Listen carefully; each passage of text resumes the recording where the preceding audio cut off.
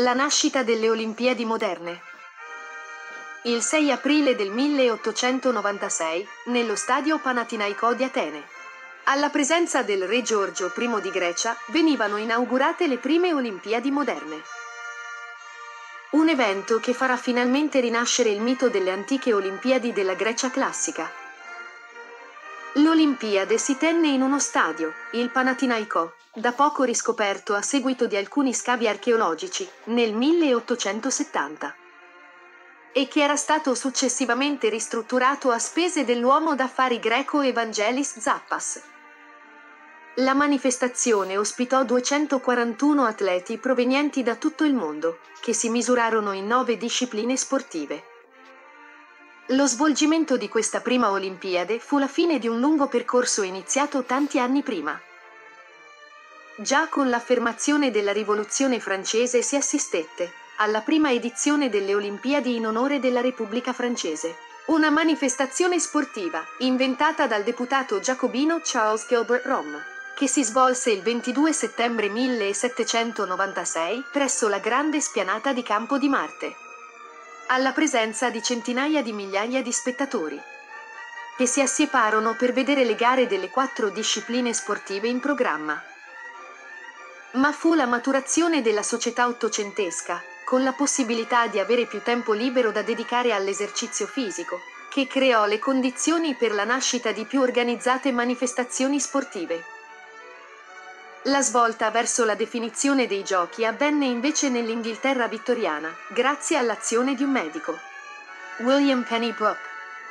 Pedagogo ed educatore, Brooke, al fine di promuovere la forma fisica degli abitanti e dei lavoratori cittadini, organizzò nel villaggio di Macwenmock le Olimpiadi di Wenlock, una competizione di giochi ginnici e atletici, che si svolsero il 22 e 23 ottobre 1850 presso l'ippodromo cittadino. Riscuotendo un tale successo, che subito furono organizzate nuove e più imponenti manifestazioni sportive, anche in altre località dell'Inghilterra, Intanto i legami con gli ideali del mondo classico greco si facevano più stabili. Nel 1859, in occasione delle Olimpiadi greche di Zappas, il comitato di Wenlock inviò denaro per garantire premi per i vincitori. Le Olimpiadi di Zappas erano organizzate dallo stesso Zappas, che aveva partecipato a recuperare lo stadio Panathinaiko. Esse furono il primo revival in terra greca delle antiche Olimpiadi classiche e si svolsero per la prima volta nel 1859, prevedendo la sola partecipazione di atleti greci. Intanto i movimenti sportivi in Europa e in America prendevano sempre più consistenza e vigore. Spesso durante le esposizioni universali si poteva assistere a gare sportive internazionali. È proprio sull'onda di questa crescita che in Francia il barone de Coubertin, uno storico e pedagogo sportivo, cominciava a mettere insieme i tasselli per creare un movimento olimpico mondiale. De Coubertin era sicuro dei benefici che avrebbe avuto lo sport sulla salute e sulla formazione dei giovani, arrivando persino a giustificare l'amara sconfitta della Francia nella guerra franco-prussiana, con la mancanza di esercizio fisico da parte dei militi francesi.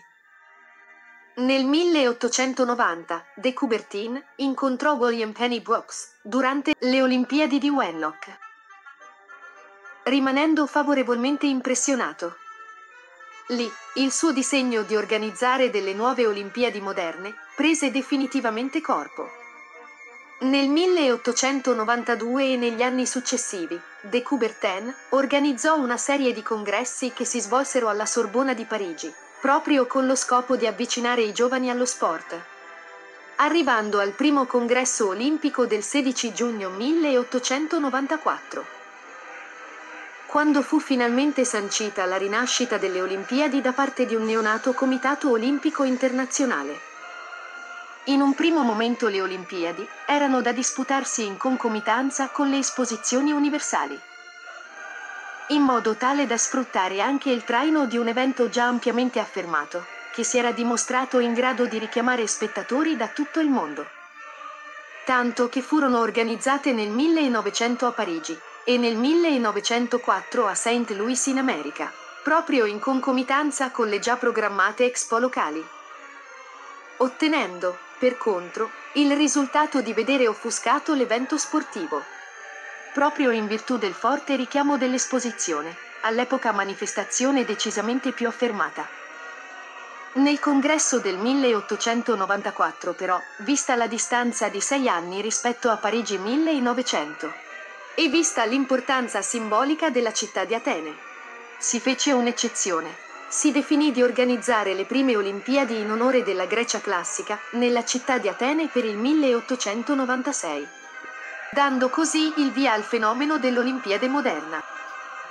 Olimpiadi, che oggi sono giunte alla 32esima edizione, toccando tutti i continenti del pianeta, e arrivando a rappresentare la manifestazione sportiva più importante del mondo.